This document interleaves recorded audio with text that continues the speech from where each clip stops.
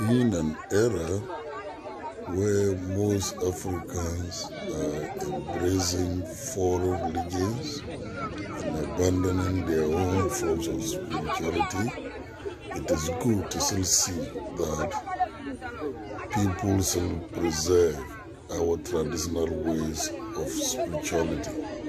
Here in this video, in Nzemaland, in the western region of Ghana, uh, you can see the woman, an angry river deity, which is a crocodile, has blocked the place where villagers fetch water uh, for their activities because it is angry for unknown reasons. Uh, so this woman you see is a priestess and the woman is trying to appease the croc.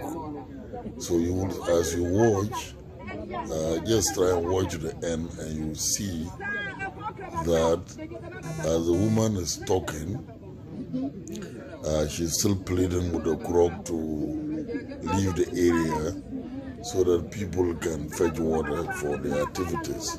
And all the people out there are watching what is going, the, the purification rise, the appeasement rise. And so uh, in, in, at this stage, the croc is up there. Now, watch what will happen after she does this. She's throwing, uh, trying to appease it. Those are sacrifices. Now the crocodile is beginning to move back into the water, and he, the woman is holding the, the chicken and begging it to leave the area. And eventually, she's going to throw the chicken, and then the croc will grab it and then leave. There it goes. So it grabs the chicken, and the croc is leaving the area now. And you will see that.